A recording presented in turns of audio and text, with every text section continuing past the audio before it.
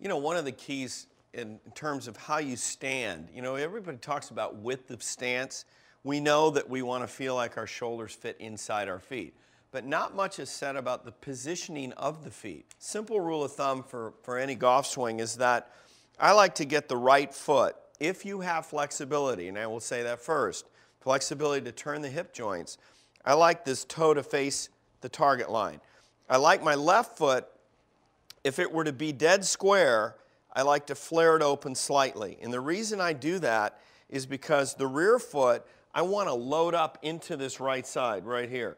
If I flare it open, my right hip joint's going to over-rotate. So the position of the feet does have more to do with the motion of the body than you can imagine.